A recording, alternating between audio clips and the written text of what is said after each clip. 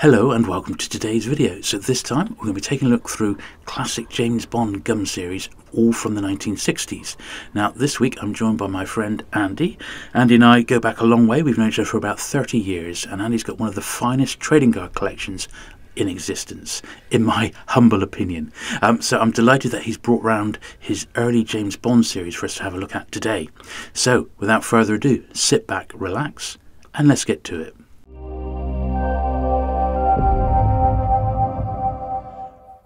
Okay then, Andy. So, what have we got here then? So this is a wrapper first of all. Somportex, I see. That's the wrapper for the very first ever James Bond gum card set. That's what we're going to be looking at today. And I see it says London there, so this is British, yeah? This is British, yeah. So we're going to be looking at all the uh, James Bond gum series of the 60s, all the English language ones. There were Italian ones. Oh, wow. We won't be covering those because basically I don't own them. So that, well, this is fantastic. Look at that, an original wrap- wrapper. That's the first wrapper. Um, the company was Somportex, a London company. Yeah. Uh, it says Dandy because Somportex didn't actually have their own machines to make the cards, so other people made them for them and they just marketed them. Right. Dandy Gum was a Danish company, and they did some of the early Somportex sets. Wow, incredible. So- so that was the wrapper they came in, and that was. Uh, did it say a, a set of sixty? Did I see? Uh, it is 60 for the first one. This, right, this, uh, this set is known as James Bond Film Scenes. Um, as you can see on the wrapper, Ah, there was, uh, if you sent away So- 12 of the wrappers, you got a badge. right. Okay. Yeah. badge. Um, And this is pictures from Dr. No, Goldfinger, and from Russia with Love. Yeah, it's it's from 1964. Um, first three films uh, released really for the time with Goldfinger, but it has pictures from all three films And blank backs. and blank backs. Right. So no making up a picture like I was used to No. with my Star Wars No, cards. no, no composite picture. So these are good. Some of these, obviously, I recognise the the the, uh, the the stills, like that one from uh, um, from Russia with Love, but others I don't recognise the pictures, which is great. Yeah, um, quite a mixture. yeah. Uh, as you can see, a lot of the pictures are Of the ladies, ladies. in a state of undress, which caused quite a problem at the time. oh right, um, yeah. There was MPs got involved. Wow, Um, really? It made the front page of the Daily Mirror in December 1964. What about these these Yeah, very yeah, cards? people- wow. Parents were complaining that children were being sold cards with you know half-naked women. I suppose they've got a point. Yeah, Yeah. and uh, it, it made TV. There was something. There was a show called On the Braden Beat on ITV, Right, uh, yeah. which was uh, a sort of topical consumer affairs show hosted by Bernard Braden. Hmm. Um, there was a piece on that about them. Wow. Yeah, uh, if we could just go to Yeah. this one, Oh yeah, Shirley Eaton. Yeah. there are variations with these cards. Oh Um, okay. Most of them are very minor, just different, slightly different sizings of the photos. Hmm. Um, there's two of them that are a bit more interesting. There is another version of that card, the Shirley Eaton one. Um, it's the same photo session. She's just looking up instead of looking down. Um, that's one of, the, one of the more notable couple of uh, variations with the set. Oh okay. Okay. Um, such was the fuss about these. They were actually withdrawn from sale. Really. Yeah, um, and they quickly put out the second set Yeah. because they weren't selling badly. But uh, yeah, it was it was getting a bit too heated, I think. So they actually withdrew them from sales. Set. Wow, that's incredible. So that makes them rare today. Yeah, and apparently number card, card number fifty nine was very hard to get at the time, Oh, well. leading to rumours of it possibly being short printed. Ah, right. Oh, we'll have a look at that in a minute. They are a bit risque, I suppose, for the period, you know? Yeah, that'd be a bit risky. It Now, reminds me of. Um, uh, th- there is a book called For Bond Lovers Only, which isn't a Fleming one. It's about the Bond phenomenon, and that's got a really, it's got a really big photo insert, and all the photos are like this. Yeah. it's it's really uh, sought after. Now this is the other one, the Zena Marshall card, one Oh, which is another interesting variation, which is very rare. Yeah. If you see that original photo, Bond's arm is here, and he's actually got ha- his hand on a backside, his, his shoulder and arm. Um, there is a version with the uncropped photo, with the unaltered Oh, right. photo, which is very rare. Wow, But, uh, most of them like that one. incredible. And then number fifty-nine. Number fifty-nine. It's that one was from supposed to- Goldfinger. yeah, it's supposed to be a rare one. Yeah. Interesting. It's a nice set, isn't it? It Have they ever been reprinted? Yes, um, they came out in about 1997. Yeah. Um, there's a company called Daylon reprinted them. They're in a in a little plastic attache case, Oh right, yeah. um, limited to 3,000. And they were actually marketed as 5,000 sets. They only actually printed 3,000. right. Uh, they're the only 60s Bond set to ever have been reprinted. It was projected to be the first of a series, the only one that ever came out. oh, brilliant. And um, what does the set go for today? This set, in the hundreds. Um, I'm not Really? really. It's a while since I got my set, so I'm not really up on current prices. Yeah. Um, but Been yeah, in the hundreds, yeah. probably yeah, yeah, Yeah. Hundred, a couple of hundred, maybe. Not really sure of the current prices. Wowee. That's lovely. Lovely to see. Okay, so here's the second set, which Right. we're going to rush released after the first set was withdrawn. So these are from 1965, a set of 50. Hmm. The Exciting World of James Bond. Um, similar sort of wrapper, different colours. Um, very hard wrapper to get that one. Hmm. Um, again, you sent away uh, 10 wrappers and you got a different badge. Yeah. Um, Oh yeah, it says 007 badge free. yeah, And, and again, they're a mixture of cards from the first three films, but no half naked women this time. Right, I see. so they've. Uh, More cards of the Aston Martin, to be honest. oh, okay. Yeah, Brilliant. So yeah, and a few uh, sideways on ones Yeah. as well. yeah, a few landscape ones. Yeah. Ah, now they have a back. Yeah, I do vaguely remember having a few of these through my hands over the years. Again, these were, these were produced in Denmark by Dandy Gum um, for Somportex. Very, very nice.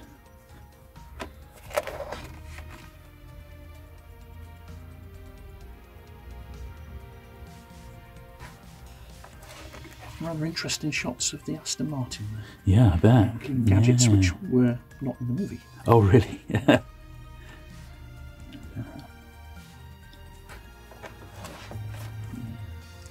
And these cards at the bottom here. Yeah, the um, guns. The guns of Bond. There's some more over the page. Mm. Um, they were taken from a magazine article. Those photos. Oh, really? Which was in a Sunday Times Sunday supplement.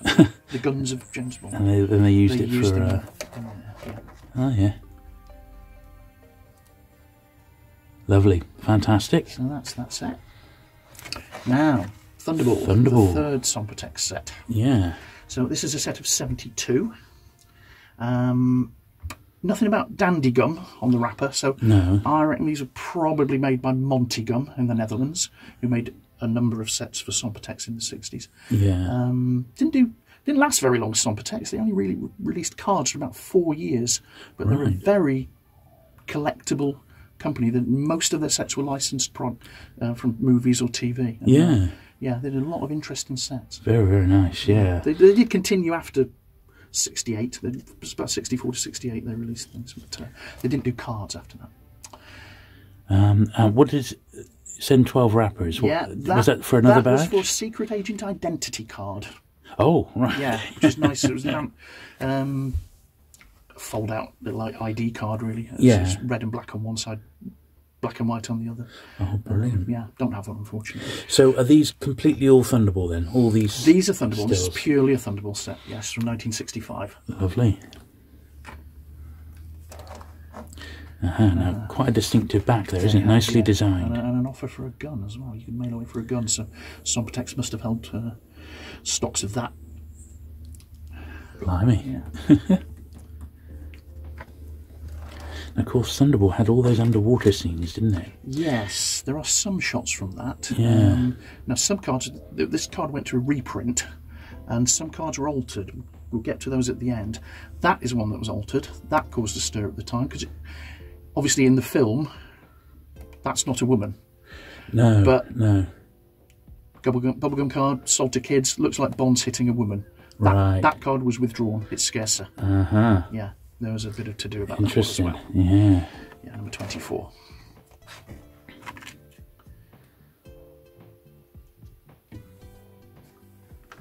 Again, lots of nice shots of The Aston, the Aston Martin. Martin, Yeah. including gadgets which were never shown the phone, the gun tray. Yeah. Yeah. Nice.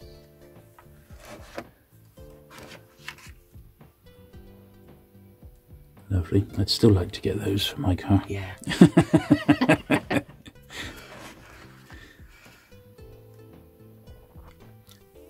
It's a nice set, this. And 70's quite a few, isn't it? And it's the biggest is. set yet. Yeah, Or 72, rather, yeah. Yeah, 72.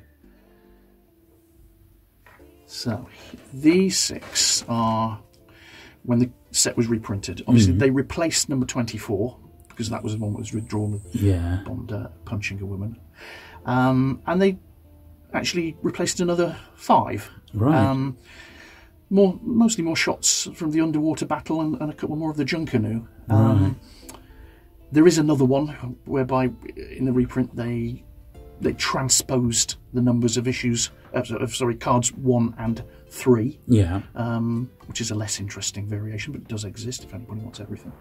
Uh, but yeah, the, these are the six that they uh, they changed. Right, They're- brilliant. They're the reprint versions. That's fantastic. Okay, then, Andy. So you've got your collection of these uh, little promotional badges. They're absolutely amazing. I love the display that you've got on them. So, can you tell us a little bit more about those? Certainly. Um, we're principally talking about the James Bond ones today. So um, these two are the Somportex badges from the first two ever James Bond card sets. They were mail away badges. You had to send away, I think it was 12 wrappers for that one, 10 wrappers for that one. Oh, And this one was a mail away badge for the first American James Bond set, the first Philadelphia gum set. uh, you got that and um, some kind of ID card as well. so you had to actually send the wrappers in. Yeah, these, these are all, they- what a nightmare. The Bond ones were all mail away items. Right. Uh, that, as you can see, is a Bazooka Joe Club Ah, one yeah. from the 60s. That is a little bit faded, but it's a rare badge. It's the best I've got. That's a 1950s uh, Chix Confectionery Soccer Bubblegum Club members badge. Oh, wow, some, some kind of mail away item. Yeah. Uh, that is a very early A and B C badge, British company, from their All Sport set, which Yeah. is uh, quite an early A and B C, early British gum card sets from about 1954. Brilliant.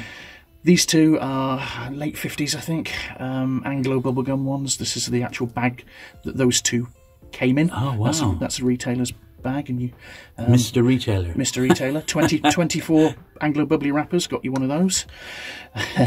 Brilliant. The Batman badges, Yeah. the Monkees badges, the Uncle badges, they're all A and B C badges. Right. Uh, British Gum Company, they're all 60s. Um, I think they were used as promotional items, but I believe they were also in gum machi- gumball machines. Ah, right. I was going to say, how did you get hold Yeah, of I those? think they were in gumball machines as well. Uh, So you put in your what penny? you put in your whatever it was. penny, you got a, a round ball of bubble gum, and hopefully you got some kind of little trinket, a charm, a badge. If you were lucky, Brilliant. you got a Batman badge. And that's the full set of Uncle. That's the full set of Monkees, uncles, all four yeah. uncles. That's the hardest one to get, Waverley. Oh yeah. That's your five Who would want a badge with Waverley? I know, I know, every, every child's dream. Um, and uh, these are the, uh, the the Batman ones. I think the slightly design, the design on those four is a bit different to the design on those. They, they might have come out in two different waves. Yeah. But uh, yeah, that's the story of those. Very, very nice. I really like the way you've got those displayed. And this is just a bit of like a comic board, but you've blue tacked them down. it's just blue tack, and the blue tack. I, I always keep an eye on it in, case there's any dis. You know, will anything react and discover? Yeah. No, doesn't seem It's to. pretty good stuff. It Doesn't blue seem to. Oh, fantastic. Yeah, that's great. Okay, so what's this then? Okay, now we're going to jump Secret across Agent. the Atlantic for Uh-huh. two American sets. This is the first Bond American set. Uh, James Bond's Secret Agent, 1965. I think there's the wrapper again. Yeah, there's a wrapper again. And Uh, another badge. And a mail away badge. Yeah. um, again, like the first two Somportex sets, it's from the first three movies, released in, the, in conjunction with Goldfinger. Right. Um, Lovely. It was also re- released in Australia by Scanlan, company in Australia. What, the same series? Same set, but a whiter Right. cardstock. But this is the American set. Uh, I think this set's lovely. Yeah. I think it's it's my favourite of probably all the 60s the pictures seem sharper. They're clearer, yeah. Yeah. Yeah, it's yeah. you almost see it straight away, and don't larger you? because Yeah. it's yeah, American presses. Yeah, Look at those backs, yeah. really like this set. Do you think that's because the Americans had had more experience of bubblegum cards? Maybe a little different machines as well, um, Right. larger, better printing. Yeah, Yeah. yeah, because American gum cards go back to the early 30s. Ah, there you But go, Britain, yeah. 1953, when sweet rationing completely ended. Right, you ah, that makes sense, yeah. Of course.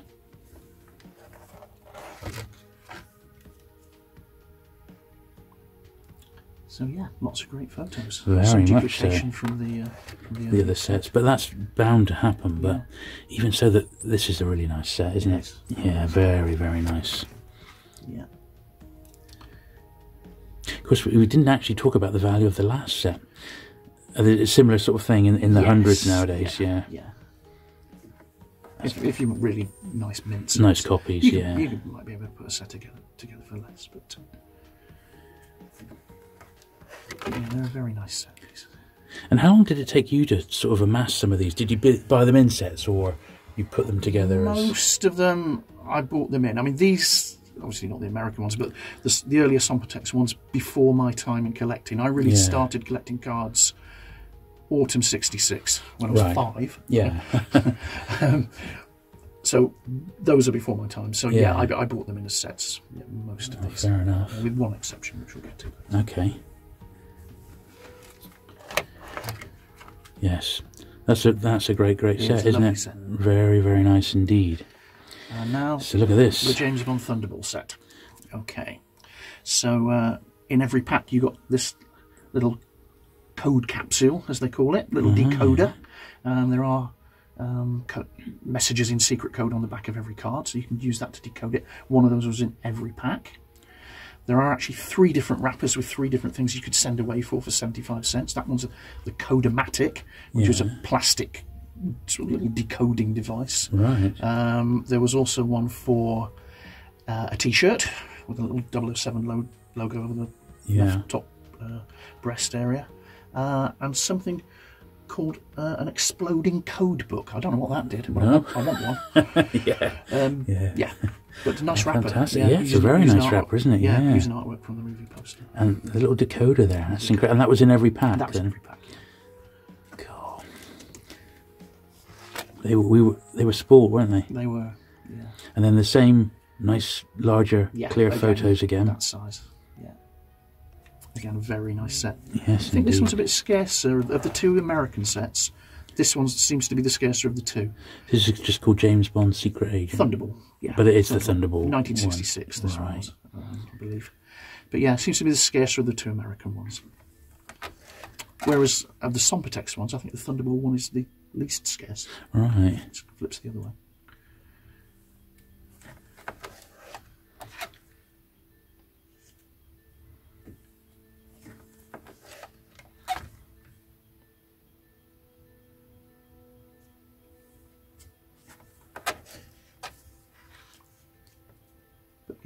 Very nice selection. Very indeed, yeah. Loads I haven't seen here. They must have really gone through the archive Mm. Yeah. to uh, to get interesting shots. Yeah.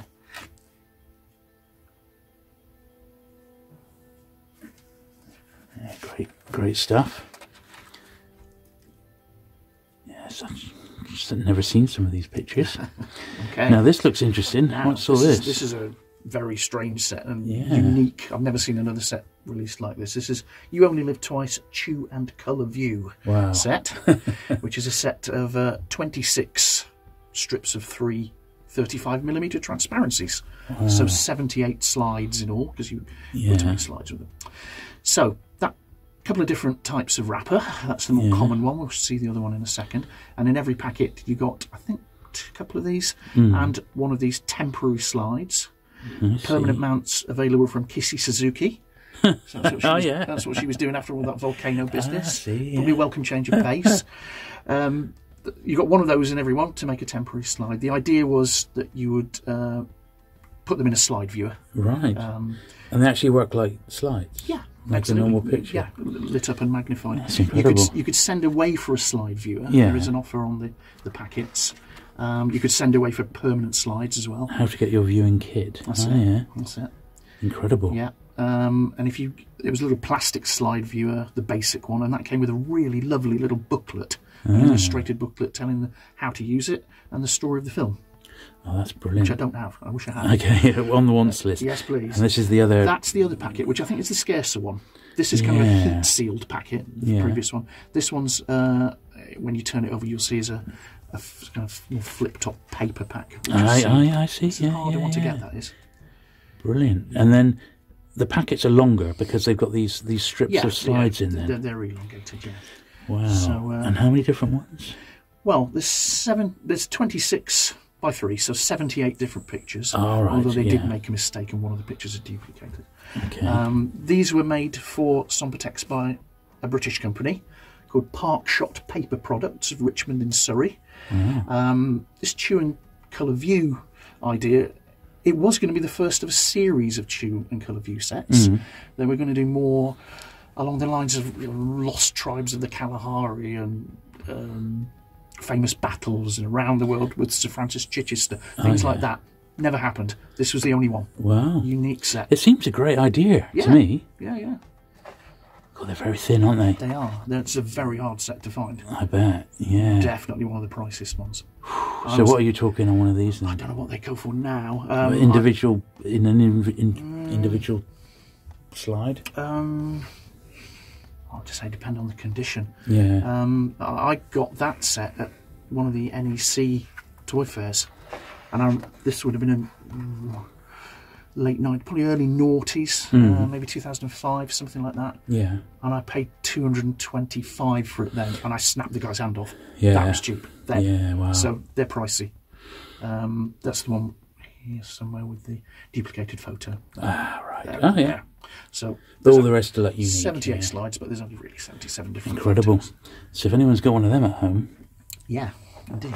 doing And now, very, your favourite well. Bond film, Indeed. On Her Majesty's Secret Service. It And is this, indeed. this is the one I really remember collecting as a kid. I had a few of the slides, but I did collect these. So these are 6970. Obviously, the movie actually opened, I believe, in uh, December 69. I remember getting these in early 1970. Yeah. different company, Anglo, British company, um, based in Halifax. Mm. Did a number of sets at the time. There are actually four different wrappers for this, four different colours, which is quite typical of Anglo. Right. Um, different colours here. I so to get the boxes looking a bit more colourful, yeah, maybe. a bit more colourful. Yeah. Anglo tended to do this. Um, I have the green one. Um, they're all they're all yellow. There's a sky blue one, purple one, and I think a pinky red one. I think Right. Hard wrappers to get, really Yeah. tricky. And this is probably the priciest Bond set of the 60s. Is it indeed? Yeah, It's, Right. it's a hard one to get. Um, as I say, I, I had some of them at the time, Yeah. and I completed them in the 80s and 90s gradually. But very nice set, and first actual colour Bond card set. Yeah, indeed. Yeah. Indeed. I, I've had a few. We had some in the shop, didn't we, back in the Yes, day? But yeah. uh, we never had a set. Um, to, to see them in a set. And we're back to the, the, the smaller British size now, aren't we? Yeah, indeed. And does it tell the story? Yes, that? Ah, yeah, it tells the story of the, of the film, yeah. Very, very nice set. Yeah. And have you sort of upgraded some of yours? Because I see they're all really nicely centred in that. Uh, a few here and there over the Yeah. years, yeah. Yeah. Yeah, all photos apart from the very last card, which for some re- reason is artwork. Oh, right. Presumably they couldn't get a suitable still of what they wanted to show. Yeah. I mean, I remember seeing these like in catalogues and seeing them like a five or a card or Mm. something like that. Um, but yeah, as a set with the wrapper as well. Very, very nice indeed.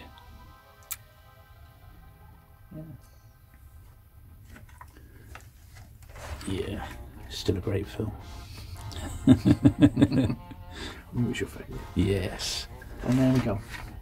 And that last one The then last- is a is a painting, is, is, it? Yeah, don't Would have why. thought it. But that was the last gum card set, really, of Bond to Moonraker. Right, which yeah, yeah, in the 79. seventies. It was, Yeah, was the last yeah. one for about 10 years, yeah. Wow. The Moonraker ones were next. The Moonraker American gum card set. And those Imagine some of the early Bond ones, Sweet and, uh, early Roger in the UK. Moore's. Yeah. Yeah. That's brilliant, fantastic to see, Andy. Really, really good. So there we are. I hope you enjoyed looking through the amazing collection of James Bond cards. Now, uh, Andy, you mentioned earlier on that there's an amazing website. Uh, is it a Belgian website which has got a lot of these on? It is. It's called the Ultimate James Bond Trading Card Guide, Uh-huh. um, run by a Belgian chap called Mark. Um, yeah, it's got everything on there. Um, all sorts of mail away items, packaging. Yeah, it, it, it's it's the best site on the net. There are others. Toys of Bond. Yeah. There's another site which has some good uh, pictures on, but uh, yeah, that's the best Oh, one. brilliant. Well, I'll put a link to that one in the description down below. So, thank you very much for sharing these with us today, Andy. You're welcome. Anytime. Um, yes, well, we'll have a little think. We'll put our heads together and see what we can come up with next time. Sure. And we'll try and do another video again soon. But if you have enjoyed this one, do please give it the thumbs up. Do please hit the subscribe button if you've not already for regular vintage James Bond and trading card content. And I'll look forward to seeing you again very soon. Bye. Bye.